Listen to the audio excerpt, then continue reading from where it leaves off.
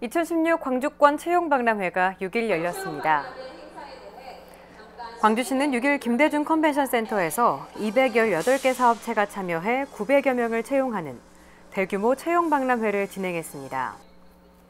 특히 청년과 중장년층 등 다양한 계층을 대상으로 진행된 이번 대규모 박람회에선 70개 기업의 현장 면접과 1대1 채용 상담, 지원 시책 안내 등이 진행돼 호응을 얻었습니다.